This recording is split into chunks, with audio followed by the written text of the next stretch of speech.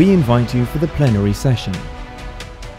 Europe whole and free, an idea of the past or of the future? How has the Europe whole and free concept impacted today's shape of Europe? What are the major threats to the preservation of the idea? How should we be sharing the burden of preserving a Europe whole and free?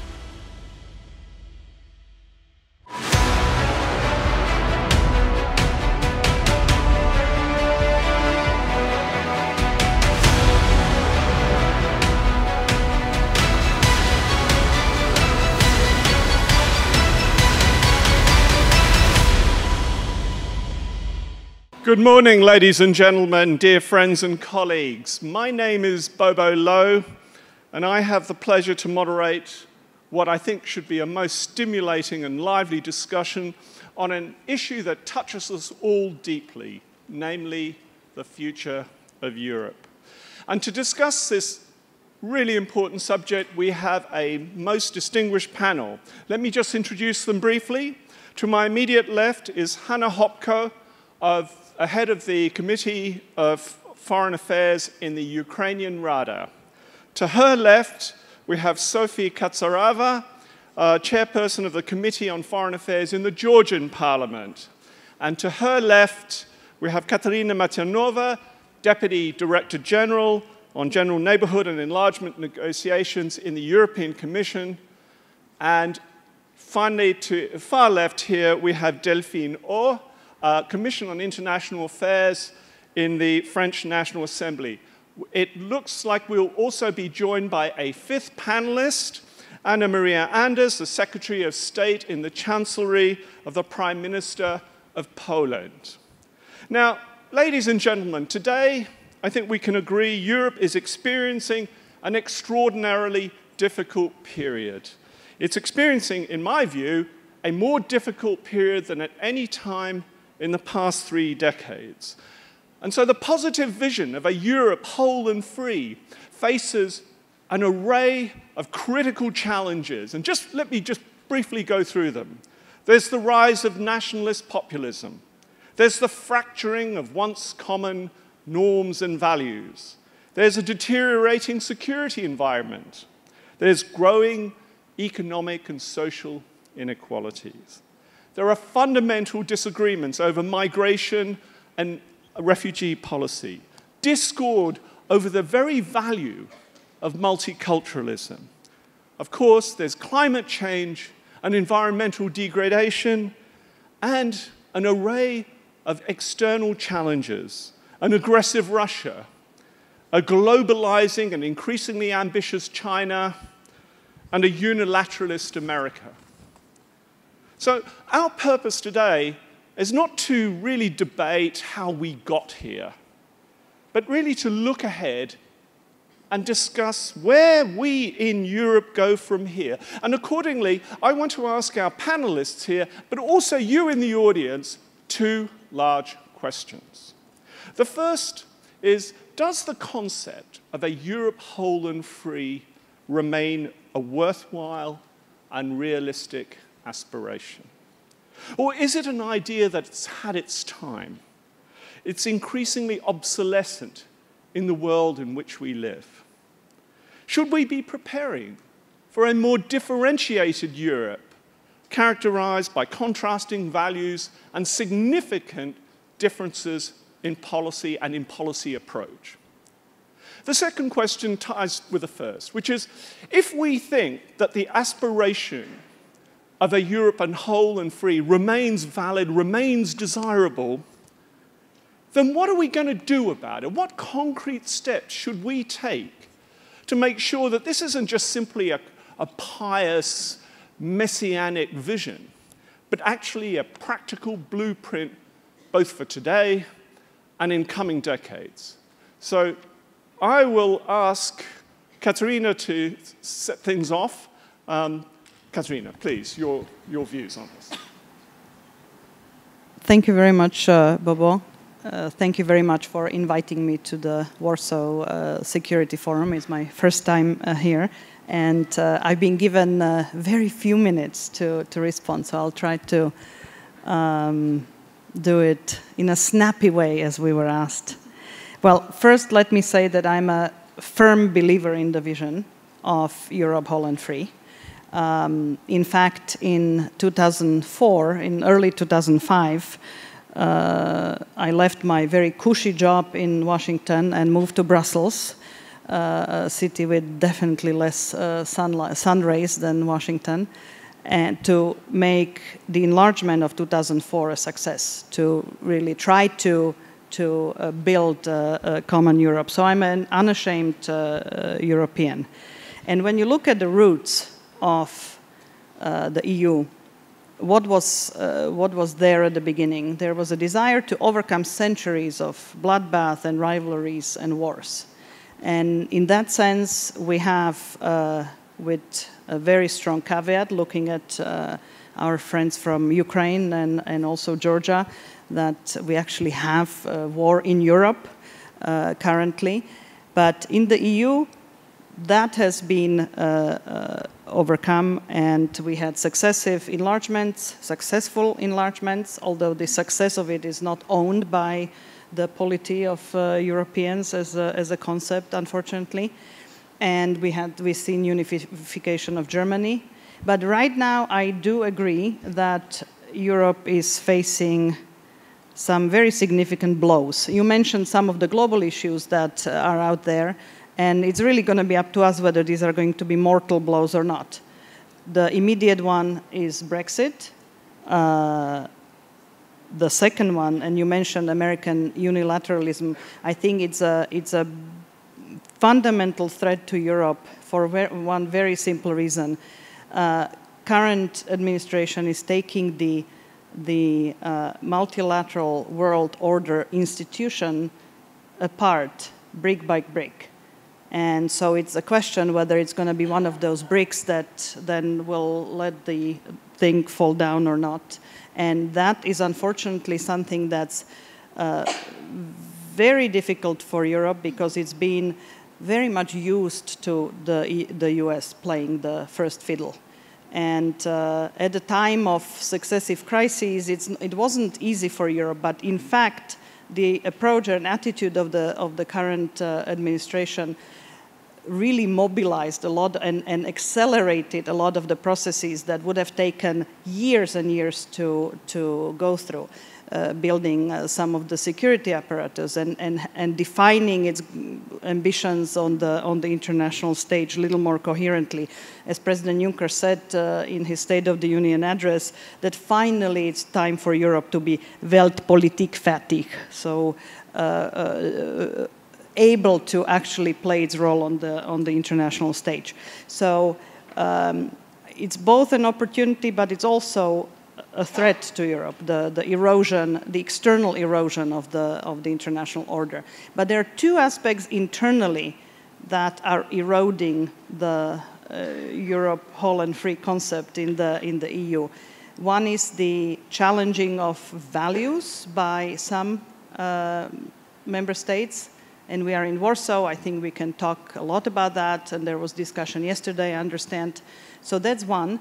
And on the flip side, it's sort of this sense of complacency, nostalgia, um, sense of entitlement that is among the older member states, sort of looking nostalgically back uh, how it was when the world was different and was unipolar and we didn't have, we didn't have this mess. And I think these two uh, create, uh, create uh, really the divide that, and I, I see that there is going to be a breakout session on East-West divide, which is a real issue. And I think so these are some of the internal dynamics that make things uh, uh, complicated and that are unfortunately not allowing to really come to agreement on the fact that 2004, 2007 enlargements were a success on every aspect of it, uh, but it's still challenged.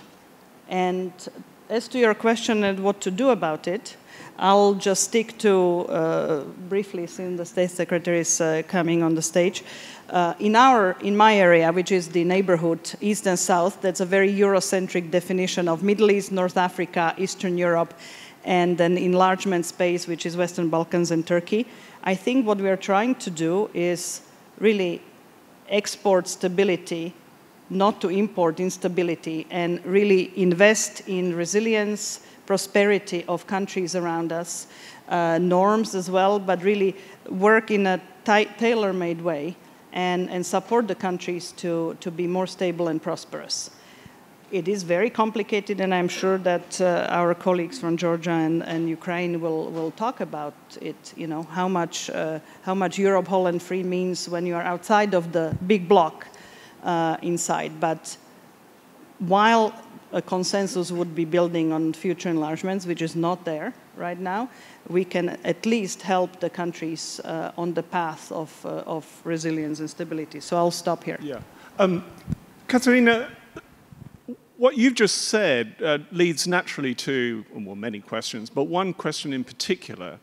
How can you export stability when there is such an erosion of core European values within the existing area of the European Union? Because, again, looking at from the outside, it seems that there, there is a kind, it's not just in the United States or in China or in Russia, there is a, a general attitude of um, make my country great, i.e., separate from uh, the European Union or separate from the constraints of the European Union, and my country right or wrong. How do you address fundamental conflicts like that? Because people from the outside think, well, you preach a good game, but what are you actually doing? Well, I think that if you if you looked at the landscape of what Europe does in its immediate neighborhood, you would actually see a very coherent, uh, very coherent story, where we uh, not only uh, is Europe the largest provider of uh, foreign aid in the world, but uh, we have really retooled and really entered into very comprehensive partnerships with our countries. The two uh, that are represented on the panel I work personally with, where we really listen to each other and try to invest in things that are of fundamental transformative nature, whether it was decentralization uh, in, uh, in uh, Ukraine or, or, or, rural development in uh, Georgia, and uh, energy efficiency. A lot of sort of practical things as well as uh, developing a security dialogue to help in the transformation of, uh, of also the uh, security forces, areas that were unimaginable five, six years ago. So I think you, there you see we also try to be innovative on the financial front. We have put together something called external investment plan to crowd in private sector, to, to help uh, magnify the numbers uh, that we can give as, as grants through the private sector involvement. So you actually, I think the, there is not a linear line between the, the tensions and the bubbling and the fermentation inside the EU and the coherence of what to do in the neighborhood. I think there we are fairly uh, uh we have eyes on the ball, uh, I think, fairly well and, and are supported by the member states in that process. No, that's excellent. Delphine, I wanted to turn to you. Um, uh, your responses to those two questions I set out, but particularly in the context of uh, President Macron's own rather ambitious vision for Europe moving ahead. And I was just wondering whether you could um, uh, address some of those issues. Sure. Thank you for the invitation to the Warsaw Security Forum. Um, as I was preparing for this panel, I actually went back to the original speech where this concept, Europe whole and free, was first mentioned. It's a speech by George Bush, the father, in Mainz, in Germany, in May 1899, so a few months before the, the fall of the Berlin Wall, sorry.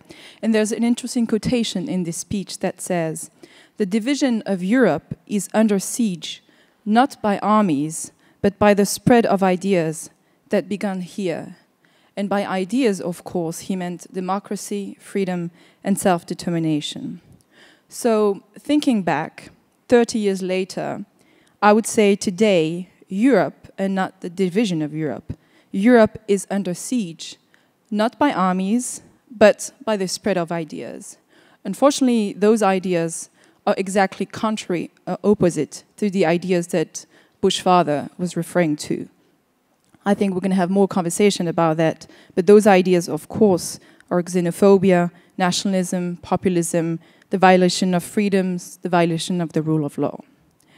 Recognizing that, I think today Europe, in the European Union at least, still exists as a whole, but in order to continue to exist, we need a multi-speed approach. And that's precisely the approach that's advocated by President Macron. I think we've been sort of hiding between our little finger for a number of years. Not everyone, not every member state wants or can integrate at the same space, at the same intensity, or at the same time. So, to quote again George Bush, he said in that speech, we need a continent that is diverse but whole. So, I would say that's exactly what President Macron is trying to advocate right now. I kept to my three minutes. No, you certainly have. Um, how successful do you think is he in convincing others of that vision? Because I, I was reading a recent piece at the Center for European Reform, and they were talking about two problems with the uh, Macron vision. One, that other countries within the European Union simply didn't agree with his concrete policy approaches, so that there was a, a divide between France and Germany, much, and then uh, uh, uh, much more, of course, between France uh, between his approach on, say, migration asylum policy and those of Central European countries like Poland and Hungary and, and so on. So, how realistic? It's one thing, again, to, to put a vision, and you need, you need the vision thing, but how realistic, how, how much optimism is there still left in Paris that you can actually make at least aspects of this vision a reality? So, of course, his vision that he laid out in multi, uh, in several speeches that you've all probably listened to in the Sorbonne, uh, also in Greece, uh, in the European Parliament, is very ambitious. There is no way denying that. Um, we must also recognize that since President Macron was elected about a year and a half ago, a lot of things have um, changed in Europe or in the world that have not been favorable to his vision. Of course, Brexit that happened before his election, but also elections in Germany, in Austria, and more recently in Italy. As you know, we have many problems, many issues with Italy right now. But one interesting thing I think in his vision is, I would say, the com comeback, the return of the idea of sovereignty. For long, the idea of sovereignty was actually the reserved area for the nationalists, for the populists, and it's still a concept, an idea that is still very much in use in populist and nationalistic um, government, either in Central Eastern Europe, but not just in Central Eastern Europe, more and more also in Western Europe.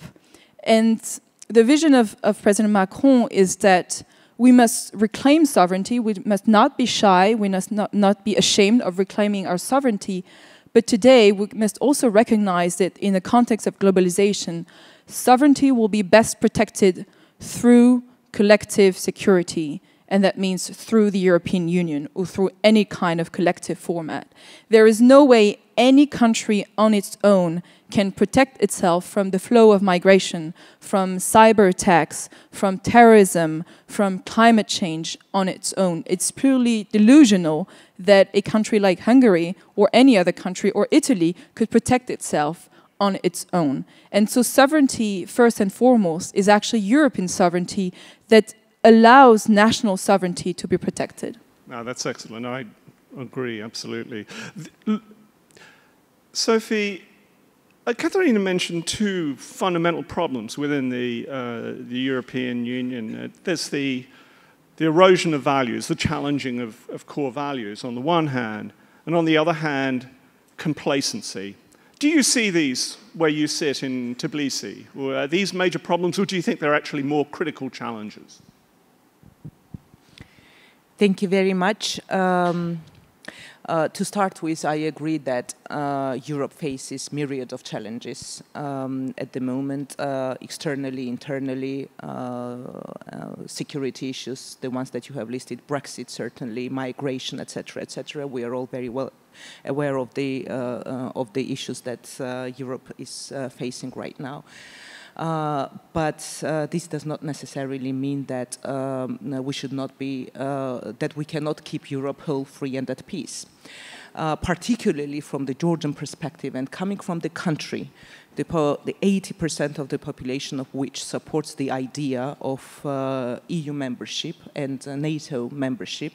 On their behalf, and from that perspective, certainly the answer to your first question is yes. Uh, and it, it's not just the public, the whole political spectrum is united around this idea of uh, uh, EU and NATO, and this is our big vision. And we know where the destination is, and we are now going through the process back in our country, um, and similarly, like Georgia, Ukraine certainly, and countries like Georgia uh, have, I believe, the same vision and idea about Europe whole, free, and at peace. and because of that, I will perhaps jump to the second question of house. and uh, I, I, believe the member states of the European Union uh, perhaps know the uh, answer better than countries like Georgia, but we uh, I would uh, like to propose some of the thoughts how we see it, house, the practical house uh, of keeping Europe whole, free, and at peace. The first prerequisite uh, is uh, because it is the cornerstone uh, of resilience and security, is keeping open door policy of NATO and the EU this is something that uh, we have spoken yesterday and we mentioned uh, at the panel where I had the honor and privilege to speak. Uh, when we talk about the security and the resilience and the unity, we should be true to the founding principles of open door policy. And again, speaking of the Georgian perspective, 10 years ago in 2018, 18, um, 2008, Georgia um, uh, was promised NATO membership, uh, open door policy. It still stands, and at every subsequent NATO summit, this offer uh, and this commitment still stands. But Georgia has gone way beyond membership action plan, as we enjoy all instruments, all practical instruments with NATO, and it is extremely important that we again highlight the fact that no other country has a veto, should have a veto on the decision of any sovereign country. That is very important. Similarly, when we talk about, and yesterday we've heard a number of times of the second threat, uh, and this, more, this, this panel too, hybrid threats and unconventional threats um, and all the malign narrative, um, and Georgia of all countries can uh, know uh, and knows uh, what it means uh, to deal with and fight disinformation and propaganda. And we've got our share of experience how to deal with that. And that is another issue of keeping uh, political, politi being politically resilient uh, to counter uh, propaganda um, uh, and disinformation. Uh, in that, um, in that uh, sense too, I think there needs to be more unity when, because it's not just Georgia or Ukraine or countries outside the European Union who are facing it, but it's a serious and alarming trend in the European countries as well. Uh, and from that perspective, if we show more unity uh, and share experience amongst European countries and build a common um, uh, platform of sharing experience, how to deal with propaganda uh, and disinformation, I think that would add value to the general trend of fighting uh, this threat. You spoke about unity, um, but there's a lot of talk these days about a multi-speed Europe. So how do you think that contradiction can be reconciled? So if, if Georgia becomes part of the European Union at whatever time or some sort of uh, association, how are you not worried as a Georgian that you might kind of be relegated to Europe's second, third, fourth division, that, you, that there won't be this unity, there'll just be a multi-tiered Europe uh, in which some countries are clearly much more equal than others? Um, uh, Georgia uh, has got a very clear and ambitious agenda to start with uh, um, uh, in terms of uh, EU um, and uh, association agreement, DCFTA, and all the instruments that we have to become member of the EU.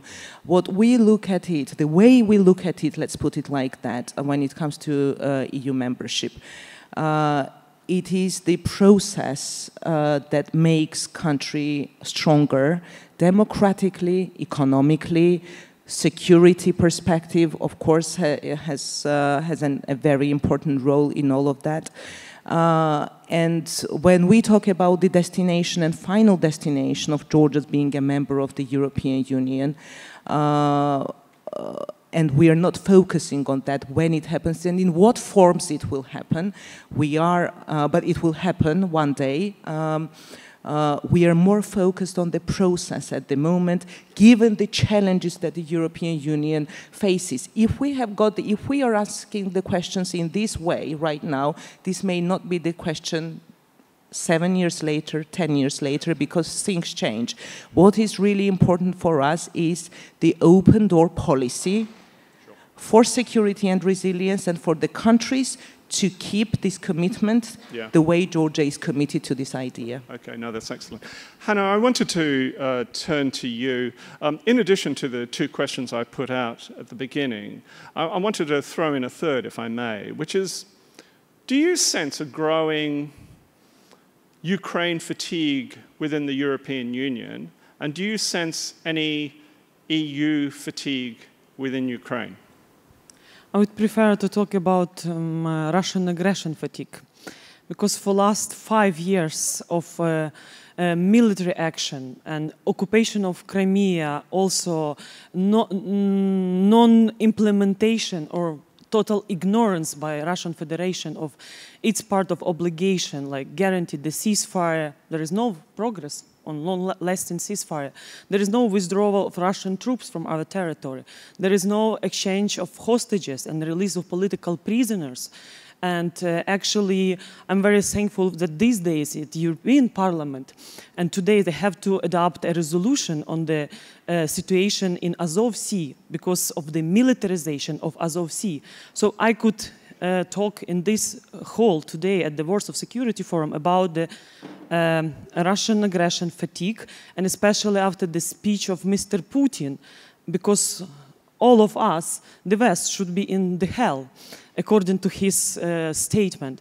So, um, uh, as Ukraine is approaching the electoral year in 2019, the same like European Union, Poland, so we have to expect more economic, more uh, security, more political pressure and challenges, especially created uh, by Russian side. So we have to express our solidarity, exchange of experience, and within these five years of Russian aggression in Ukraine, I could say that all these threats and challenges we considered as an opportunity because what we managed to achieve. Now we could proudly say that Ukrainian uh, armed forces, uh, one of the biggest forces in European continent, 270,000 soldiers. It's well-trained uh, soldiers with unique practical experience of deterring Russian aggression daily. And also um, last year, there were different cyber attacks through viruses, Petya and others. So we managed to uh, uh, protect our critical infrastructure, banking sector. So now we could say that how Ukraine could contribute to the European security because we are really the eastern uh, flank of NATO, deterring uh, Europe. So this is about donating, not about asking sure. about more assistance. Yep. Do you think, though, that there is still uh, I mean, you clearly have a commitment to uh, this two-way exchange, um, that Ukraine is not merely a supplicant, but Ukraine can give a lot to a Europe whole and free. But do you think that vision of a Europe whole and free is still persuasive within Ukraine? do people still believe in it? Uh, during the Dignity Revolution, Euromaidan, five years ago, um, the activists, the citizens, they sacrificed their lives for values, fundamental values of the EU. So actually, and for last five years, every day by having association agreement with the EU, free trade agreement, visa-free regime. So this is the achievement which allow us to um, be more integrated within the European Union and also uh, NATO but I still think that uh, within the EU, I'm really very happy to see that how the 2003 uh, Thessaloniki agenda for the Western Balkans now implemented and we see enlargement in uh, reality. And I hope, and today we discuss with our Lithuanian colleagues in the morning during the breakfast about their vision for 2027, the Lithuanian presidency before 2025, Poland presidency and 2020 German presidency. And I hope that Ukraine, Georgia, Moldova will also receive um, invitation for um, uh, how to move towards European integration, because this will be the motivator for Ukrainian political elites, uh, knowing that there is the perspective in the future. So actually opening the doors and stimulating the implementation and focusing on reforms, Ukraine could become uh, not just a strong partner and one day a member of the EU. And this is why the initiative of external investment plan, of so-called European investment plan for Ukraine, Georgia, and Moldova, uh, this is also in the interest of the EU because the gap of development between Ukraine, Georgia, Moldova with the uh, um, our neighbor country like Poland, Hungary will be closer and uh, also it's cheaper to invest uh, export uh, invest in stability uh, than to receive the instability. Absolutely. Um, Anna Maria, thank, uh, a lot of talk these days about a crisis of values within Europe. Um, and that this crisis of values means that there are fundamentally different policy approaches on really key issues. These are not just minor policy differences, but really go to the core of what the European Union, what Europe is all about, whether it is indeed whole and free, or whether, as we were saying before, whether it's a concept that's had its day.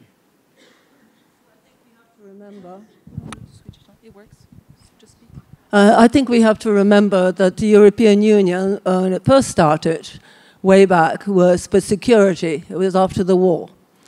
Um, I grew up in England. I think my views on the European Union are actually very multifaceted. I grew up in England, Polish parents, I married an American, and I'm in the Polish government. Uh, so I think I see the situation from three different kinds of view.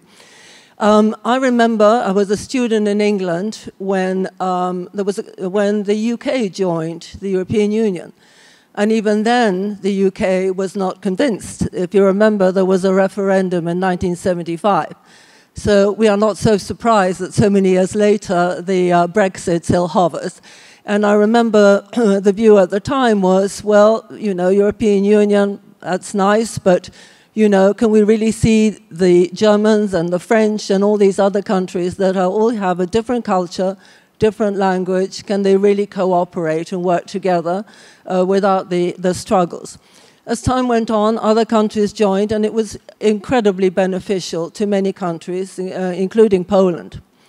Um, looking at the situation now, um, I am not very happy. I don't feel very optimistic. Um, I was at a conference in Washington not so long ago, and actually the conference was on um, transatlantic cooperation. It was really Central Europe and the United States. And my question at the time was, well, you know, um, I see this more of a problem is the disunity in Europe. I mean, you think about what's going on. I mean, you know, we have the migrant situation, we have the energy situation, uh, we have um, other issues that, um, that are I think I asked. I think your name was Christina. You said that it was the outside factors are are stirring it up. Um, I really honestly believe um, that uh, Putin is very happy at what he's managing to do. Um, I think um, I was at uh, discussions in the UK when we were talking about Brexit, and there was a feeling at the time that he was stirring it up because he wanted Europe to break up.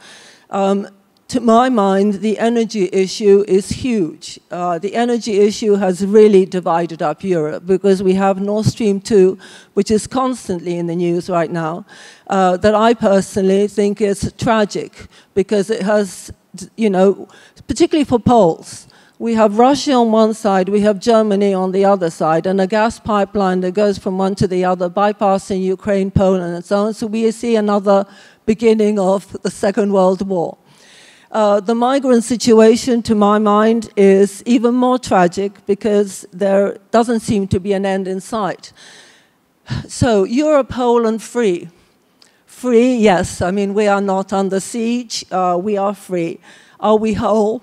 Uh, absolutely not. I, I, I think um, there is a lot of work to be done. And if you were asked to ask me now how to do it, I don't know. So would you say that really the future is not Europe whole and free, but the, the future is differentiated, multi-tiered, and sort of free? I think the future is governed by outside uh, sources. Don't really. outside sources just merely exploit internal weaknesses? Well, I think other circumstances in countries. I mean, you know, we are affected by everything. We have the war in the Middle East. We have Syria. You know, Uh, we have no control on that really. You know, we're talking about Ukraine. I'm a great believer in a free and a strong Ukraine. Uh, you know, but it is also seems to be uh, without you know with without outside our control. Uh, Nord Stream 2 is also with our, outside our control. So um, when we talk about working together, I don't know. First of all, I think that um, Eastern European nations, Central European nations, and Western European nations have a different outlook on all this. You know, I listen to even my colleagues here, and they think in a slightly different way than, than I do, maybe because I also have the, the slight US tinge to, uh, to complicate things even further. Sure, sure. Thank you. I'm going to uh, open out uh, to questions and interventions from the audience. If you can uh, say your name and affiliation and keep the intervention nice and snappy. So, who would like to? Um, sir, gentleman in the row there. Yep. I'll take a group of questions. Uh, so I'm Neven Pirel, a student. Question for Delphine O.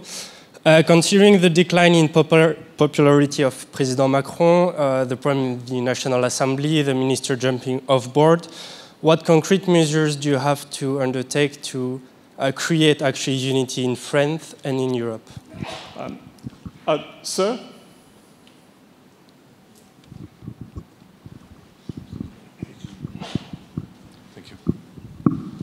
Thank you, Praladze from Georgia.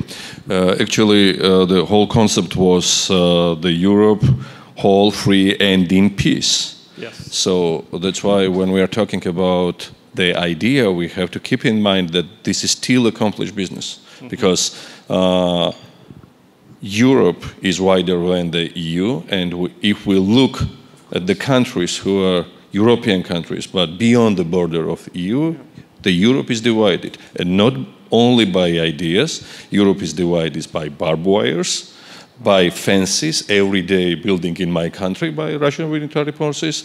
Ukraine is divided, uh, Moldova is divided. So uh, Europe free, whole, and in peace. This is idea we have to achieve. Thank you. Thank you. Um, Jonathan, do, do you want to just. Uh, Jonathan Eyal from RUSI in London. And my question is to Mrs. Anders, a name that sort of combines both sides of Europe in a historic way. Um, are you worried about the current division between the old and new members inside the European Union? Are you worried about the language that is being used about that? Uh, and is this serious, or do you think they're just birth pangs of uh, an integration that are going to go away? Uh, I'm going to take a few questions because we've got relatively little time. Sir, in the middle. There, in the, in the middle of the middle row.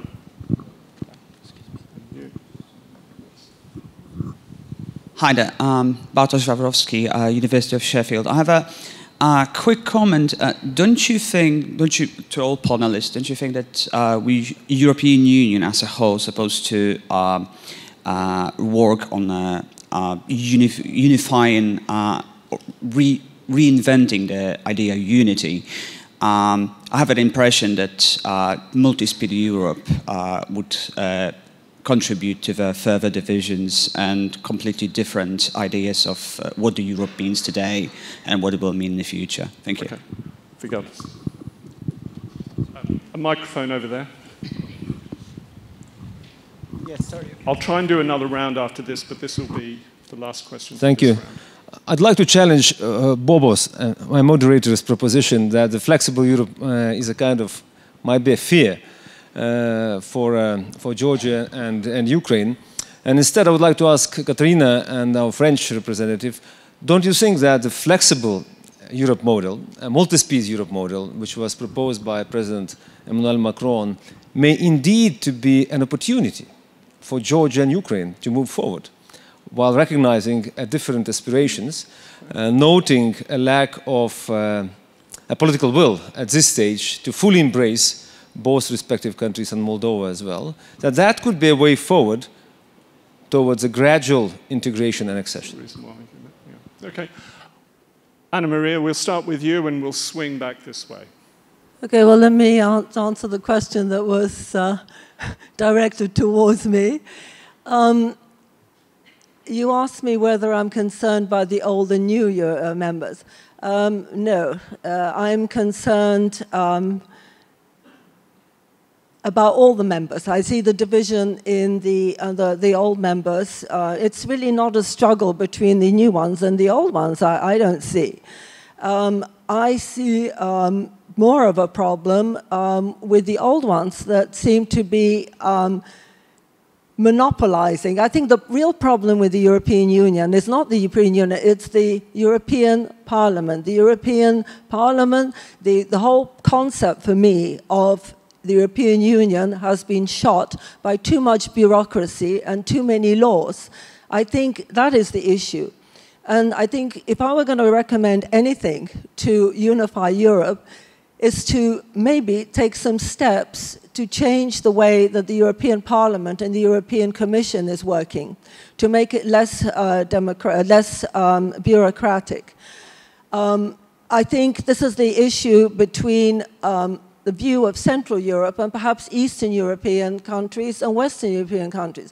I always look at it this way. Eastern European countries who are under communist rule for so many, so many years feel that at last they have an opportunity for some freedom of, of expression and they feel put upon. So I don't think it's like old and new. Maybe you could say the new ones are the uh, uh, Eastern Europe, and maybe there is that division. But I think it's not the old and new. I think it's generally a problem for everybody. Okay, thank you. Delphine. Um, yeah, I'll answer two questions. One that was first directed at me, and the other about multi Europe, maybe furthering the disunity of Europe. Uh, first one, so I hear this is coming from a French person. I'm not going to answer the internal politics of France, um, but um, what concrete measures can we take, or can the French president take um, to further the unity of Europe? I'd say I'd take two very different examples. The first one is about migration. Um, in my view, migration is today not the first threat to Europe. I don't think it's such a threat to Europe, but it's the first threat to the unity of Europe. And I'm not going to be lying about that. I think we're nowhere um, near a solution. Um, there's been a number of examples this summer with the Aquarius um, boat um, that was denied entry to Italian ports that finally found um, some entry either in Spain or in Malta. And President Macron was instrumental in um, finding a solution with these countries. Uh, but I think we're still very far from a solution. I'll take another example that has nothing to do with security or defense or foreign relations, but I just read about it yesterday and I thought it's interesting. Um, when we talk about creating unity and solidarity in the European Union, we need, of course, to start first with education, with how we train and we educate our young people. And there's an idea that was put forward by President Macron in the Sorbonne speech that was to create European universities. Today we have the Erasmus program that all of you know, but we don't have actual European universities that would be geographically located in one country, but that would be actually, you know, um, managed and uh, and by different countries. And so there was um, this idea was put forward, and there was a call for proposals, and six projects were proposed uh, to create these universities. Okay. Should Okay. I Answer multi-speed? Very quick. Yeah. I don't think multi-speed Europe is furthering the disunity of Europe. I don't think countries, to be very frank and honest, like Poland and Hungary or even Italy in the future, will leave the European Union. I think they benefit too much from the European Union. I think we have to recognize that on different issues like maybe defense, maybe the Eurozone, maybe financial integration, maybe those countries don't want to go further with a core of a Euro- other European countries. And so I'm I'm okay with the idea that those countries with, you know, stay where they are today, and other countries with a different group will go further. It's a very short answer. Thank you. Katrina. Thank you very much. I'll make uh, four comments. Uh, one, and as I uh, mentioned at the beginning, there is war in Europe. There may not be a war in the United in, in European Union, but there is war in Europe, and there are barbed wires, and there are divisions, and there is occupation of a number of the countries. And I think this needs to be uh, this needs to be stated uh, very clearly. And I also would like to um, go back to uh, Delphine's very nice uh, um, memories of uh, the quotes from uh, George Bush Senior.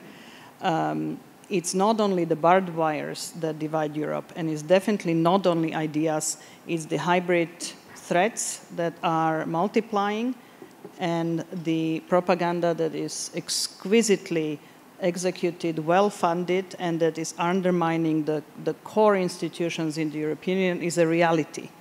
Is a reality that uh, we need to need to recognize. So I very much uh, agree with the comment that uh, uh, it is not at peace. I think the the hybrid uh, the hybrid threats is an army just in a in a different form than we were used to uh, looking backwards. I think in today's reality, it's as as efficient as uh, sometimes the the bombs. Uh, second point I would like to make is that I think the East-West divide, and I finished my, my presentation on it, I think is a reality. We are not listening to each other. I don't want to pick on you, but, but I hear many times comments, oh, things have changed in Europe, there was elections, this, this, this, this, there, and the other. It's always the old member states. You know, when there are elections Romania or when there are elections Bulgaria, it's not, it doesn't get noticed. I, I, I don't mean only on this panel. This is something that one hears uh, very often. So I think that we are not uh, listening to each other sufficiently and understanding each other. And with all due respect, uh, Madam State Secretary, European values and freedom of expression are not at odds. Freedom of expression is one of the fundamental values. I don't think that that uh, that's at stake in the in the in the battle between uh, the EU and, and, and, and the current government. I don't think it's about freedom of expression. And the fourth point uh, I would like to make to, to question, uh, if I had, and these are my personal opinions, this is not a European Commission uh, viewpoint, in if I had a blue sky uh, brainstorming, I actually think it could be an opportunity the you know to having different tiers as Delphine was talking about as an opportunity for for a ring around to come together. We will have to deal with what is Brexit's uh, uh, status, uh, what is Britain's status after Brexit. We have to come to terms and find a status for Turkey that is a major strategic partner, and I can see that there.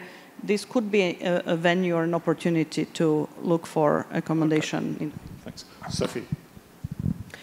Uh, also to echo my um, uh, colleague from Georgia, uh, as we spoke about the security yesterday at the panel, but uh, here is an opportunity again to highlight it. Conflicts in Georgia, Ukraine and Moldova is not only a concern for Georgia, Ukraine or Moldova. This is a threat to the whole uh, Europe and the whole strategic vision of Europe whole, free and at peace. As for the question uh, about mm, reinventing the idea of unity. Yes, uh, that is uh, that is the perspective from Georgia and the countries like Georgia, and I have spoken about it already. Uh, this is our expectation.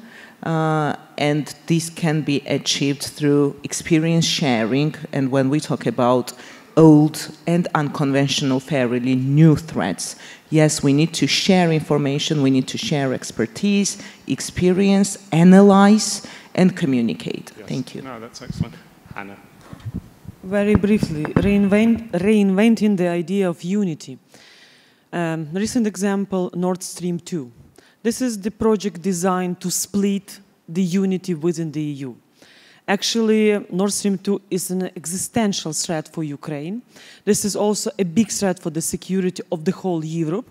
Instead of thinking about diversification of gas supply, about uh, complying with the third energy package, with antitrust legislation of the EU, we've seen the attempts from Gazprom, exactly from Kremlin, from Putin, to split the EU. So actually, don't trade with principles, don't uh, trade with your uh, values, and this, and you don't need to reinvent how to use. Just uh, remember your values. And uh, when we are talking here in Poland about energy as the key and important, so we are thinking about how to make pressure on Russia to allow countries like Azerbaijan, Turkmenistan, others to provide uh, through alternative pipelines and others the sources. So why, instead of pressing on Russia, we allowing Kremlin even to have the more monopoly. I don't understand the reason for Nord Stream 2 because the Ukrainian gas transmission system, the capacity is enough because we are using only 13, uh, 93 billion cubic meter per year and we have 146 uh, per year. So Ukrainian still could provide, no need. Sure. Actually, that, that leads nicely. Uh, we're going to have to we uh, wind it up now, but I just wanted to ask you all in 30 seconds, if I may. We all agree, I think, on the broad principles of what Europe should stand for. We even agree to a surprising degree, uh, extent about a multi speed Europe and that it's not necessarily a bad thing. But how are we going to translate these, this broad vision, these broad aspirations into something concrete? So I want to ask you in 30 seconds, no more, what is, pick one next step, one concrete policy initiative that could at least put us on the way there. I think we need a strong voice in Brussels one person that has actually got enough charisma and enough pull to be able to make everybody work together. Because I think the real problem is uh, that we are not all speaking with the same voice. There are too many divisions. Yeah. Okay. Delphine? Um, create a unified educational program in all countries, yeah. especially in the subject of history. Ah, excellent. As a former historian. um, Katerina? I think in general, Europe needs to up its game on internal unity on the economic fronts to lay the foundations for its ability to act uh, abroad. Okay. Sophie? Uh, that was already said, but I was going to say education in the first place yeah. uh, and communication. As I said, communicating, communicating, and education is the core to everything. Yeah, great. learn the lessons and be proactively preventing the threats. Actually, Putin has a lot of strategies how to destabilize Ukraine, how to split the EU. And when I often ask, what is the strategy of EU? Sanctions? Sorry, this is the instrument. Yeah. Um, Madame Mogherini never visited eastern Ukraine. So this is the answer. Is Ukraine and the war in Ukraine, Russian aggression, a priority for the EU? Okay. Prevent next threats. Ladies and gentlemen, I think you'll agree that this has been a most stimulating discussion, certainly very wide ranging. Um, it's a debate and a discussion that's going to go on and on, and um, we're all going to be very committed to it, I hope. I just want you to put your hands together to thank our wonderful panelists Hanna Hopkos, Sophie Katsarava, Katerina Mathernova, Delphine O, and Anna Maria Anders.